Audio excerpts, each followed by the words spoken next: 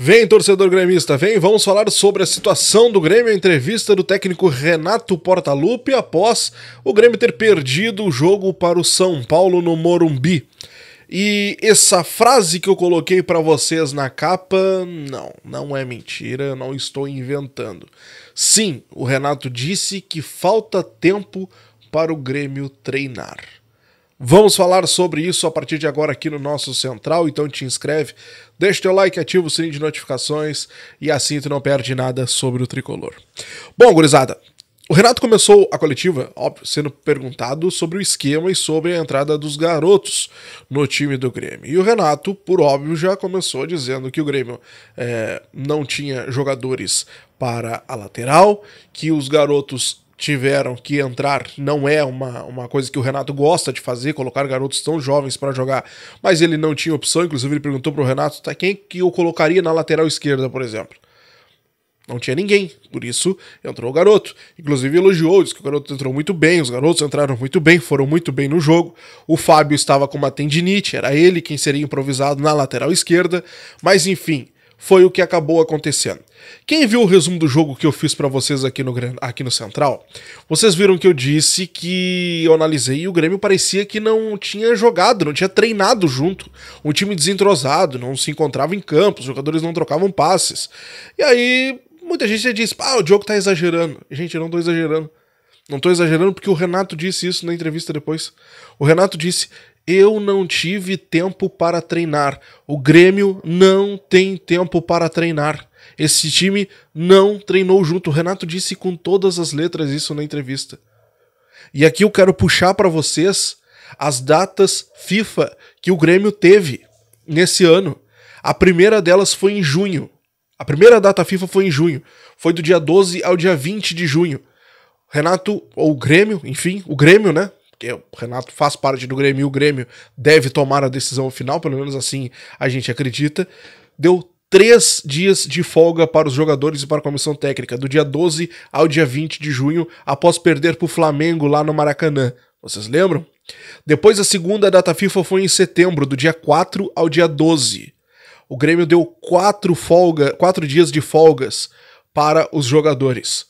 Depois, a segunda data, a terceira data FIFA, perdão, foi agora em outubro, do dia 9 ao dia 17. E foram mais três dias de data FIFA. De, de, de folga, perdão. Do dia 9 ao dia 17. E vai ter mais uma data FIFA ainda mais adiante, lá em novembro, do dia 13 ao dia 21.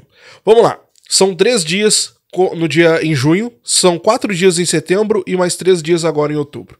Se a gente pegar que esses três dias, quatro dias, o primeiro treino a gente já tira, porque os jogadores é, estão voltando de um tempo parado, então precisam é, fazer um, um, condicionamento, ter um condicionamento físico, então é treino, um treino físico esse primeiro treinamento, já diminui mais ainda o tempo de, de, de treino que resta para esses intervalos de data.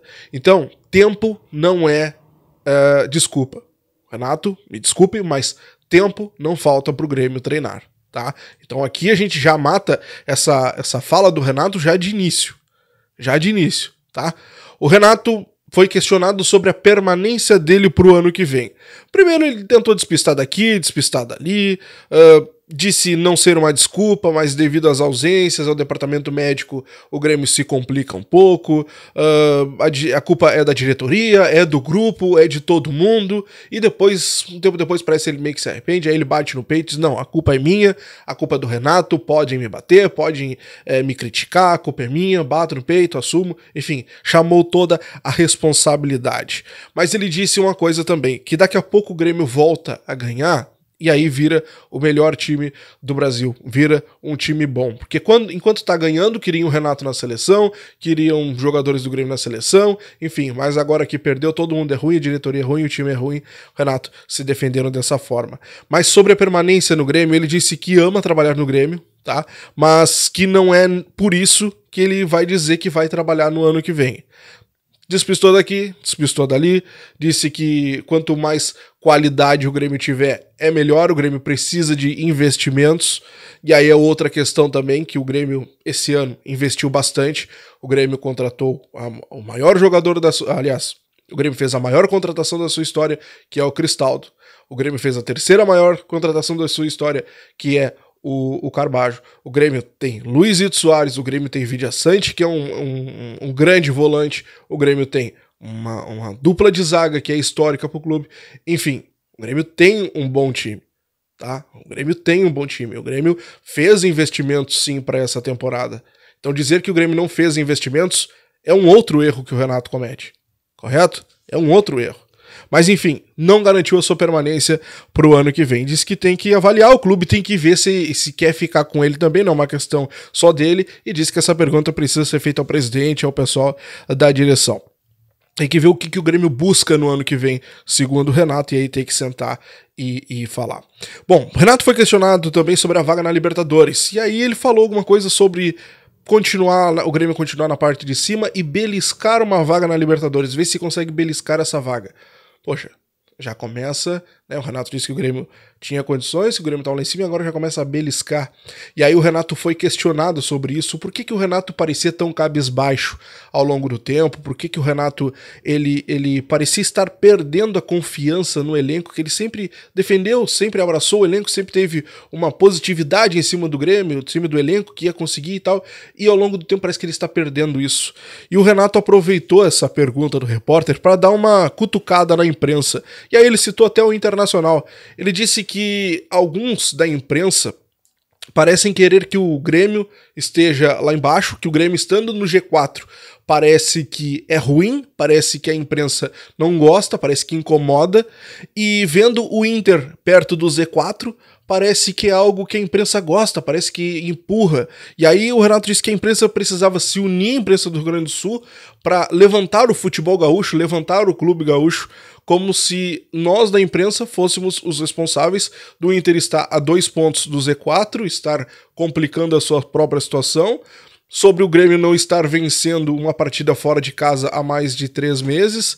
Enfim, não é a culpa da imprensa, Renato. A culpa é do desempenho das equipes. A culpa é do desempenho dos times. A gente avalia o que acontece no dia a dia.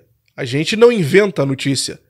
O Grêmio criou suas próprias crises. O Grêmio criou a crise com o Adriel, o Grêmio criou a própria crise com o Calef na época, com o pessoal da, da Guaíba.